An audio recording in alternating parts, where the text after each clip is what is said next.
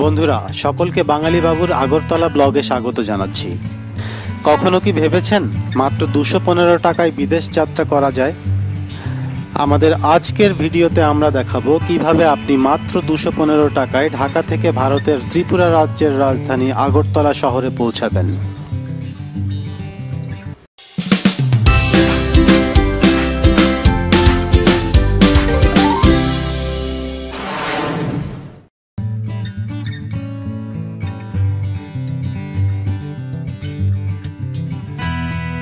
বন্ধুরা, আমাদের যাত্রা শুরু হলো ঢাকার বিমানবন্দর রেল স্টেশন থেকে। এখন সকাল সাতটা ত্রিশ বাজছে। আমরা মহানগর প্রভাতির জন্য অপেক্ষা করছি। আমাদের ট্রেন সকাল সাতটা পঁয়তাল্লিশ মিনিটে কমলাপুর থেকে ছেড়েছে।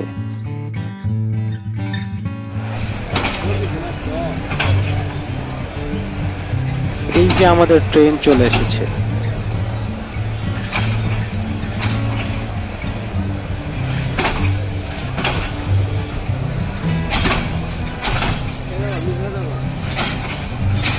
আজ ট্রেনে অনেক ভিড়। সকাল আটটা ত্রিশ মিনিটে বিমানবন্দর স্টেশন থেকে আমাদের ট্রেনটি ছেড়েছে। আমাদের প্রাথমিক গন্তব্য ঢাকা থেকে আখাউড়া। রেলপথে ঢাকার বিমানবন্দর স্টেশন থেকে আখাউড়া রেল স্টেশনের দূরত্ব তিরাশি কিলোমিটারের মতো। এই পথ পাড়ি দিতে সময় লাগবে দুই ঘণ্টার কিছুটা বেশি। বন্ধুরা, আমরা যেই ট্রেনটিতে টিকিট কেটেছি, এই ট্রেনে ঢাকা থেকে আখাউড়ার শোভন চেয়ারের ভাড়া একশো ষাট টাকা। সকাল দশটা চল্লিশ মিনিটে আমাদের ট্রেনটি আখাউড়া স্টেশনে এসে পৌঁছেছে। মানে আমাদের সময় লেগেছে মাত্র দুই ঘণ্টা দশ মিনিট। ফ্রেন্ডস, এই হচ্ছে আখাউড়া জংশন। আগরতলা যেতে হলে আপনাকে অবশ্যই এই আখাউড়া জংশন দিয়েই যেতে হবে। ঢাকা থেকে কিংবা চট্টগ্রাম থেকে যেখান থেকে আসুন, ট্রেনে আসলে আপনাকে এই জংশনে প্রথমে নামতে হবে, তারপর এখান থেকে একটি অটো নিয়ে বর্ডারে যেতে হবে। ট্রেন থেকে নেমে চারপাশটা একটু দেখে নিলাম।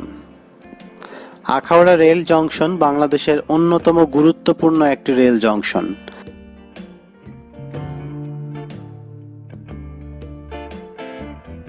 স্টেশনের বাইরে বের হলেই আশেপাশের এলাকাগুলোতে যাওয়ার জন্য বিভিন্ন ধরনের যানবাহন পেয়ে যাবেন।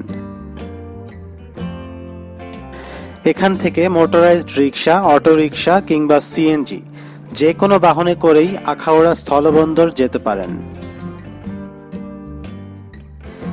এখান থেকে বর্ডার পর্যন্ত অটোরিকশার ভাড়া পড়বে জনপ্রতি ত্রিশ টাকা।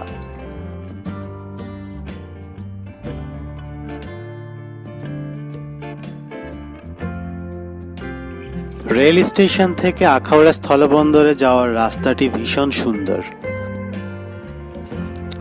রাস্তার দুপাশেই চমৎকার গাছগাছালি আর ফসলের মাঠ দেখা যায়। এই এলাকাটি ঐতিহাসিকভাবে বেশ গুরুত্বপূর্ণ। উনিশশো একাত্তর সালে যখন আমাদের মহান মুক্তিযুদ্ধ চলছিল, তখন অগণিত মুক্তিযোদ্ধা এই পথেই আগরতলা এসে যুদ্ধের প্রশিক্ষণ নিয়েছিলেন।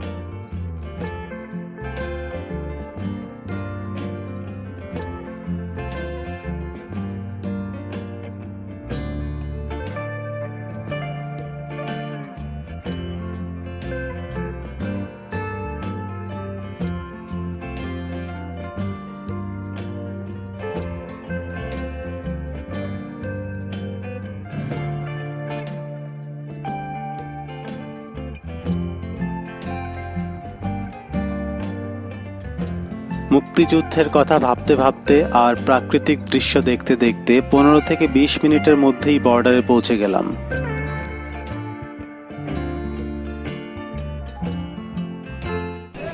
বন্ধুরা, আমি এইমাত্র আখাউড়া ল্যান্ডপোর্টে এসে পৌঁছেছি। আখাউড়া রেল স্টেশন থেকে এই ল্যান্ডপোর্ট পর্যন্ত রিক্সায় আসতে আমার সময় লেগেছে মাত্র বিশ মিনিট। বন্ধুরা, বর্ডারে পৌঁছে প্রথমেই যে কাজটি করতে হবে সেটি হলো ট্রাভেল ট্যাক্স পরিশোধ করা। এই যে সোনালী ব্যাংক দেখছেন, এখানেই ট্রাভেল ট্যাক্স পরিশোধ করতে পারেন।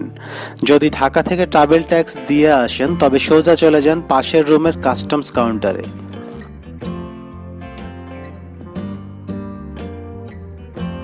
বন্ধুরা, কাস্টমস এবং বিজিবি চেকপোস্ট পার হয়ে আমি চলে এসেছি ইমিগ্রেশনে। এটাই বাংলাদেশের সাইডে লাস্ট ফর্মালিটিস এখানে পাসপোর্টে সিল মারা হবে এবং এই সিল নিয়ে আমি চলে যাব সোজা ইন্ডিয়াতে। আজ অনেক মানুষের ভিড় এখানে। ঈদের একদিন পর এসেছি এ কারণেই হয়তো বা এত ভিড়।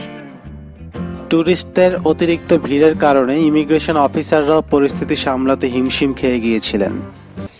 বন্ধুরা অনেক ঝক্কি ঝামেলার পর অবশেষে আগরতলা ঢুকছি। বাংলাদেশ অংশের ফর্মালিটিস শেষ করে আগরতলা অংশের ইমিগ্রেশন অফিসের সামনে চলে গেলাম। এখানকার ইমিগ্রেশন অফিসটি অনেক সুন্দর। সত্যি কথা বলতে, বাংলাদেশের সাথে ভারতের যতগুলো ল্যান্ডপোর্ট আছে, তার মধ্যে সবচেয়ে সুন্দর ল্যান্ডপোর্ট মনে হয়েছে আগরতলা পোর্টটিকে ভেতরের চমৎকার সিকিউরিটি চেকপোস্ট, লাগেজ স্ক্যানার এবং ইমিগ্রেশন কাউন্টারগুলো দেখে কিছুটা এয়ারপোর্টের ফ্লেভার পাওয়া যায়। ভিড়ের কারণে বাংলাদেশের অংশের ইমিগ্রেশনে অনেক সময় লাগলেও ভারতের অংশে খুব বেশি সময় লাগেনি। দুপুর একটার মধ্যে ভারতীয় ইমিগ্রেশন প্রক্রিয়া শেষ হয়ে গেল। ইন্ডিয়ান ইমিগ্রেশনও শেষ। এবার আমরা আগরতলা শহরে যাব। পোর্ট থেকে শেয়ারে একটি রিক্সায় চড়ে আগরতলা শহরের কেন্দ্রবিন্দু পোস্ট অফিসের মোড়ে যাচ্ছি। আমার ভাগে ভাড়া পড়েছে বিশ রুপি অর্থাৎ মাত্র পঁচিশ টাকা। সেখানে বিগ বাজারের নিচে এক বন্ধু অপেক্ষা করছে। তো বন্ধুরা, এবার একটু খরচের হিসেবটা মিলিয়ে নিন। ঢাকা থেকে আখাউড়া ট্রেনের ভাড়া একশো ষাট টাকা, আখাউড়া থেকে পোর্ট অটোরিকশা ভাড়া ত্রিশ টাকা এবং আগরতলা পোর্ট থেকে বিগ বাজার পর্যন্ত পঁচিশ টাকা, সব মিলিয়ে দুশো পনেরো টাকা। আবারও বলছি, মাত্র দুশো পনেরো টাকা। এটাই সত্যি, এটাই সম্ভব। তো বন্ধুরা, এই ছিল আমাদের দুশো পনেরো টাকায় বিদেশ ভ্রমণের গল্প। সবাই ভালো থাকবেন, আবারও দেখা হবে নতুন কোনো ট্রাভেল ডেস্টিনেশনে